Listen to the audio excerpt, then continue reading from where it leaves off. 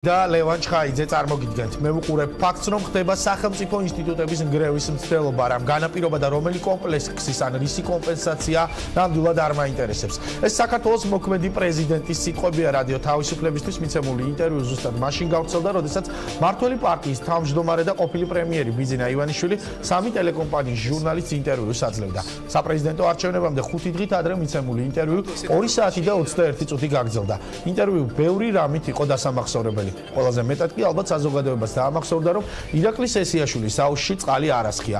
ან თუნდაც ის, რომ როგორც თავად ივანიშვილმა თქვა, მისი სიცრუე არავის უნახავს. მე ვპირდები საზოგადოებას პირველ რიგში იმას, რომ საკუთარ გულს მაქსიმალურად გავამაგრებ და გავამყარებ.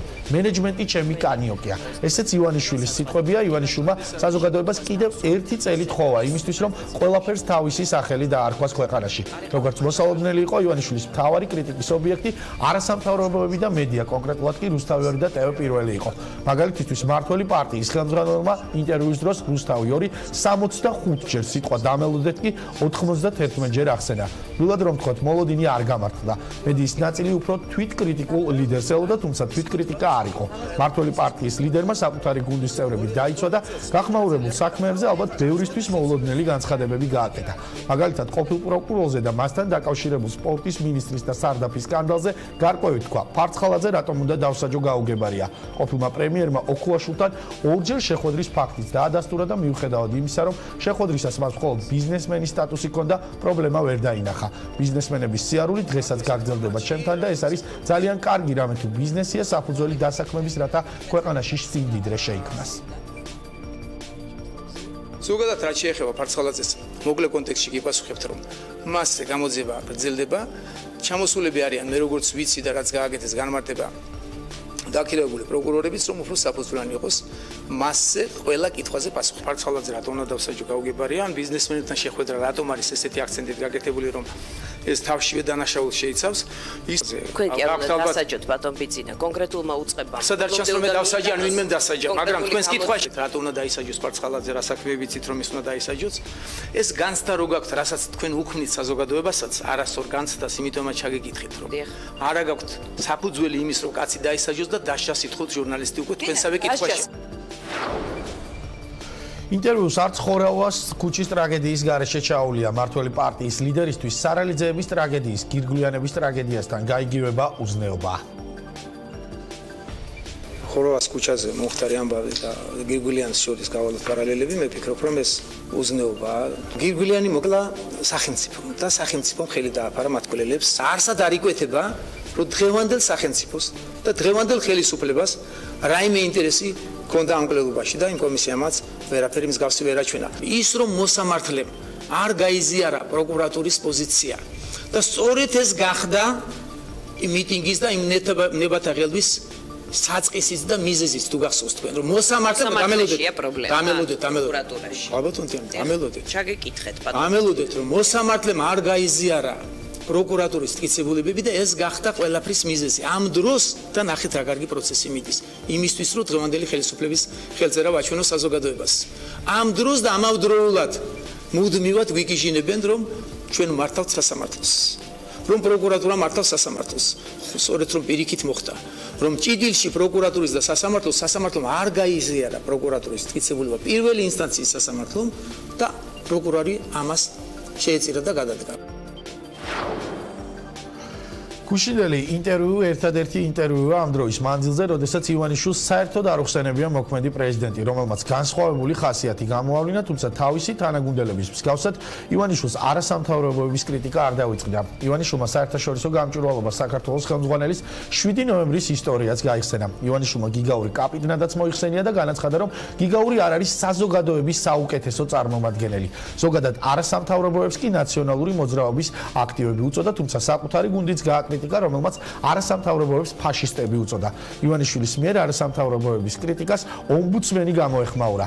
ხელისუფლების წარმომადგენლები საქართველოსი არასამთავრობო ორგანიზაციების საქმიანობას ადარებდნენ ფაშისტურ ორგანიზაციებს. მიმდინარეობდა აქტიური და ორგანიზებული კამპანია სოციალურ მედიაში და საჯაროდ მითითება თითქოს და მათ დანაშაულებრივ ფაქტებთან კავშირებზე. საქართველოს სახალხო დამცველი მიიჩნევს, რომ ამგვარი დამოკიდებულება დაუშვებელია და საფრთხეს უქმნის საქართველოსი დემოკრატიული განვითარების პროცესს და ზედმეტი შესავლის გარეშე კიდევ ერთი ინტერვიუ უნდა მოვისმინოთ ბიძინა ივანიშვილის, უბრალოდ ნაწყვეტი ინტერვიუდან, თუ როგორ გააკრიტიკა მან რუსთავი 2 და TV პირველი არასამთავრობოებთან ერთად.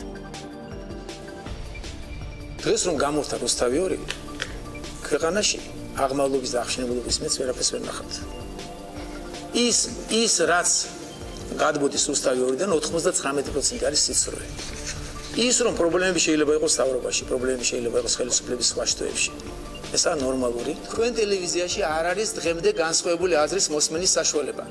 თქვენ დღესაც აქ დაჟინებით ვთილობთ, რომ არ გაიგოს ტელემაყურებელმა ჩემი პასუხი. მე პირადად მაგალითად ბევრად თვითკრიტიკულ ლიდერს ველოდებოდი აქ და ასევე მინდა რომ გავცდეთ 2012 წლამდე რეალობასთან შედარებაში არ ვიცხოვროთ მხოლოდ აი ბოლოსაც ახსენეთ. გასმის საფუძველი უნდა მითხრა. ახსენეთ. ბო ბევრად თვითკრიტიკულ ის რომ რუსთავი არაფერი და თქვენგან ძალიან ხშირად არაობიექტურ გამონათქვამს არ ვეთახმები ეს მიგაჩნიათ მე მგონი ჯობია რომ გავასრულოთ პატარა ბავშვები ველოდებიან თქვენთანაც ძალიან ხშირად ისმის დაუსაბუთებელი და არა არგუმენტირებული მაყურებელმა გადაწყვიტოს საზოგადოებამ ახლა კი რეაქციები ოპოზიციის და ექსპერტების მხრიდან. დავით უსუფაშვილი გუშინ ჩვენ ვნახეთ პარცხალაძის ადვოკატი რუსთავიორის პროკურორი ჟურნალისტების მასწავლებელი მაგრამ ვერ ვნახეთ დემოკრატიული ქვეყნის ლიდერი. თორნიკე შარაშენიძე წერს სერიოზული საფრთხეა რომ ივანიშვილი პოლიტიკურ საფლავში ჩაყვეს პარცხალაძეს და სუბელიას. მისი ყოფილი მრჩეველი გია ხუხაშვილი. მისი ამოცანა აღარ არის საზოგადოების პატივისცემის მოპოვება. მისი ამოცანა არის სისტემის ძალისმიერი შენარჩუნება რომელიც იქნება დამყარებული შიშსა და აგრესიაზე ეს კიდევ ერთხელ მეტყოლებს იმაზე, რომ ის აღარ არის ლიდერი, რომელსაც შეუძლია რამის შეცვლა. ის არის ძალისმიერი სისტემის გარანტი და მეტი არაფერი. რომან გოცილიძე ივანიშვილის განცხადებაზე ამდილით გამოვთე რუსთავი 2 მივირთვი უმი ხახვი და მწვადად მომეჩვენა. ოტარ კახიძე ივანიშვილი არ არის არც რეალობას მოწყვეტილი და არც არაფერს უმალავენ. მან უბრალოდ თავხედობის დემონსტრირება მოახდინა. გიგლა ბარამიძე ივანიშვილი ვერ ხვდება რომ ქვეყანაში კორუფცია, ვერ ხვდება რატომ არის ფარცხალაძე დამნაშავე, ახლა ვნახოთ როგორც შეაფასეს უკვე ის თანაგუნდელებმა და ქართული ოცნების ლიდერების განცხადებები თამარ ჩუგოშვილი. ივანიშვილი სერიოზულ გეგმებზე საუბრობდა და იმის ნაცვლად რომ ჟურნალისტებს ეკითხათ რას გულისხმობდა პარტიული დღის წესრიგის ფრიალი ვიხილეთ. თეა წულუკიანი ჩვენ ვნახეთ თუ როგორ შეიძლება ადამიანმა რომელიც რესპონდენტიც არის და მედიატორობს დისკუსიების დროს აიტანოს ყველა შეკითხვა. უფრო მეტიც არა მხოლოდ აიტანოს, არამედ დეტალური პასუხები გასცეს და აიტანოს ისიც მაგალითად, როდესაც მას უზრდელად ექცევიან. საინტერესო კომენტარი ქონდა ასევე სოფო კილაძესაც. სამწუხაროდ რუსთავი ორი არ არის მედია არამედ წარმოადგენს პროპაგანდის მანქანას ადამიანებისთვის ტვინის გამორეცხვას არაფერი აქვს საერთო ჟურნალისტიკასთან. ეს მეთოდი აღებულია ჰიტლერის გერმანიიდან რომელსაც შემდგომში საბჭოთა კავშირში ძალიან წარმატებით გამოიყენებოდა. მამუკა დინარაძე ივანიშვილმა შეძლო დაენახებინა საზოგადოებისთვის. ის რეალობა რაც დღეს არის რომ ერთ მხარესაა ნაციონალური მოძრაობა თავისი მოდელირებული რეალობით და მეორე მხარეს გულწრფელი ძალა გულწრფელი ლიდერით, რომელიც კარგად გძნობს ქვეყანაში არსებულ სიტუაციას თავისი გამოწვევებით.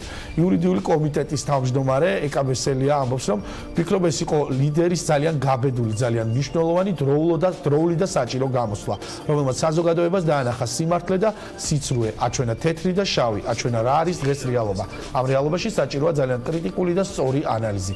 ბიზნა ივანიშვილმა ძალიან ღიად და გაბედულად მოახდინა იმის დემონსტრირება თუ რა სჭირდება დღეს საზოგადოებას და როგორი არ უნდა იყოს დღეს მედია. და კიდევ ერთი მთავარი თემა რომელიც გახმაურებული საქმეების მედიისა და არასამთავრობოების თემების სიმძიმის გამო მეორე პლანზე გადავიდა ივანიშვილი და ზურაბიშვილი. არჩევნებამდე ხუთი დღით ადრე ოცნების ლიდერს მისივე მხარდაჭერილ დამოუკიდებელ კანდიდატზე ბევრი არ უსაუბრია თუმცა რა თქვა საერთო პოლიტიკური პროცესისთვის საკმაოდ საინტერესოა. სალომე ზურაბიშვილზე საუბრისას ივანიშვილმა მეორე ტურის ალბათობა არ გამორიცხა და იმ მხარდამჭერებს რომლებიც ორჭოფებენ ოცნების მიერ მხარდამჭერილი დამოუკიდებელი კანდიდატი კანდიდატისთვის ხმის მიცემაზე კეკლუცები უწოდა. კიდევ ერთხელ შევახსენებ გუნდის წევრებს აბსოლუტური უმრავლესობა დღეს დარწმუნდა რომ სწორი პოზიცია აიღო და მაქსიმალურად ცდილობს, მაგრამ კიდევ თუ დარჩნენ ერთეულები, მათ შევახსენებ. ნუ კეკლუცობენ და კეთილინებონ პარტიის პოზიციას პატივის წენ. ძალიან ღირსეული კანდიდატია სალომე ზურაბიშვილი და ის ძალიან ბევრს იმსახურებს. მაქსიმალურად მხარი დაუჭირონ. დიდი შანსი გვაქვს პირველი ტურში გავიმარჯვოთ, მეორე ტურში კი გამარჯვება კითხვის ნიშნის ქვეშ არაა. მე დღესაც ვისარგებლებ შემთხვევით და კიდევ ერთჯერ შევახსენებ გუნდის წევრებს ზოგიერთს აბსოლუტური მრავლესობა დღეს დარწმუნდა რომ სწორი პოზიცია იყო, მაქსიმალურად ცდილობს, მაგრამ კიდევ თუ დარჩენ ერთეულები, მას შევასწინებთ, ნუ კეკლუცობენ და გეტილინებონ პარტიის პოზიციას პარტივისცენ, საზოგადოებასაც მიმართავ. ჩვენს ყოფილ მხარდამჭერებს, რომელიც ნაწილიც კვლევებში შეიმჩნევა, რომ არ არიან ჩამოყალიბებული და არ უჭერენ მხარს. დღეს ჩვენი ბოლო კვლევებით ჩვენ დიდი შანსი გვაქვს, რომ პირველ ტურშივე გავიმარჯვოთ. მეორე ტურში კითხვის ნიშანი არაა, ყველამ კარგად იცის, ვინც კვლევებს ატარებს. მეორე ტურში საერთოდ კითხვის ნიშანი არ არის, ხალბატონის სალამ 100% 100% ალბათობით იმარჯვებს.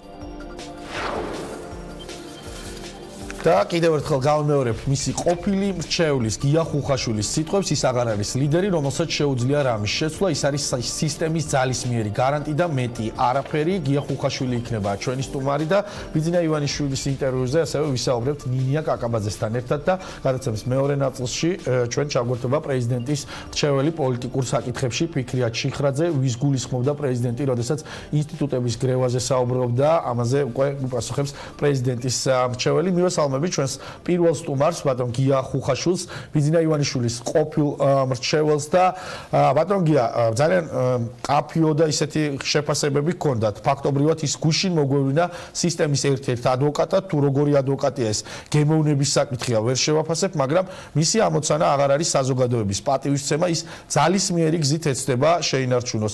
რომ ხელისუფლება რომელიც იქნება დამყარებული შიშსა და აგრესიით